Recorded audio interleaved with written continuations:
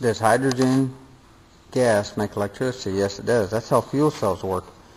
They actually convert, a lot of times they'll convert fuel into hydrogen, something like gasoline, which is not environmental friendly. Most of the cars out there, they use gasoline to convert, they convert gasoline to hydrogen to make electricity. And I'll give a demonstration here.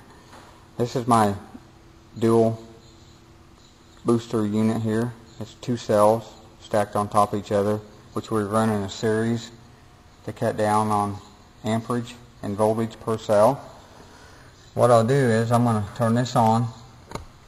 I just turned this off a little bit ago, and you can see I'm running right at, right there is 15 volts. So I'm pulling, I'm running about 13 volts on this unit. We'll let it run for a little bit here. I'll flip the switch off. We got pretty good flow of gas going up to my unit. You can see there we got gas flow going through there. So let's go back here to the meter, voltmeter, and we're going to look at it.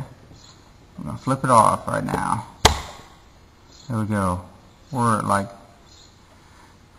4 volts, 3.5 volts, and it'll stay there for a little bit as, as the hydrogen gas slowly creeps out.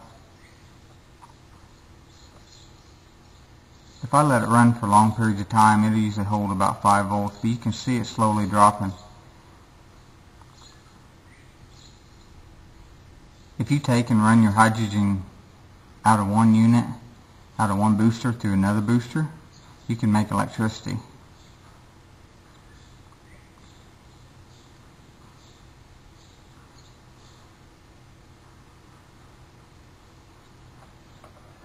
It's still about 3 volts.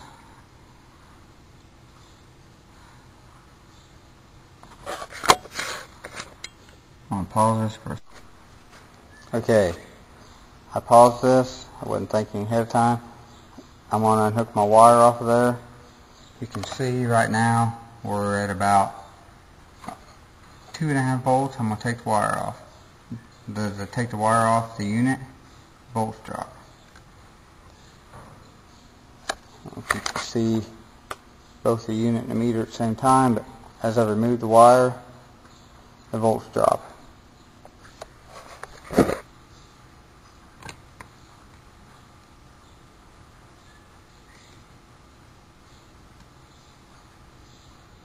That's simple. That's how a fuel cell works.